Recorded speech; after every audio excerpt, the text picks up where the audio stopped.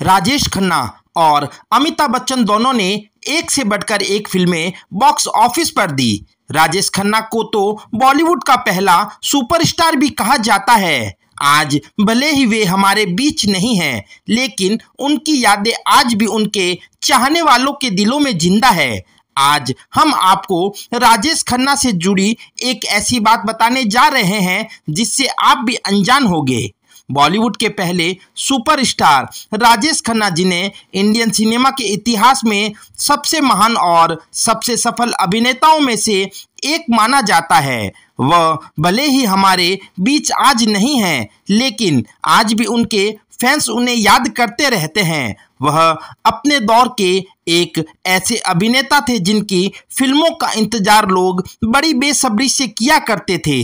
जब उन्नीस और 1971 के बीच मल्टी स्टारर फ़िल्में बन रही थी तो उस दौरान अकेले राजेश खन्ना अपने दम पर सिंगल लीड रोल वाली फ़िल्मों से बॉक्स ऑफ़िस पर हंगामा मचाए हुए थे। यही वजह थी कि वे 1970 और 1980 के दशक में सिनेमा में सबसे अधिक फ़ीस पाने वाले अभिनेता थे।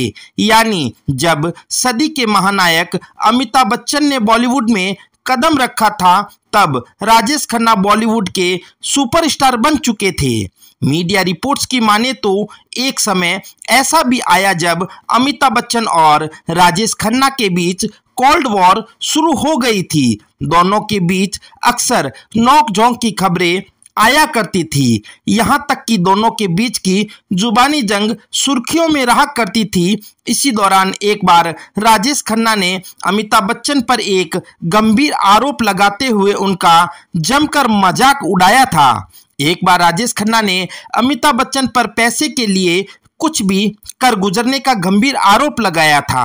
साल 1981 में जब अमिताभ बच्चन ने अपनी फ़िल्म लावारिस के एक गाने मेरे अंगने में तुम्हारा क्या काम है में साड़ी पहनी थी तो राजेश खन्ना ने उनका मज़ाक उड़ाया था और एक बड़ी बात कह दी थी। मशहूर पत्रकार यासिर उस्मान ने अपनी किताब कुछ तो लोग कहेंगे में इस किस्से का ज़िक्र किया है।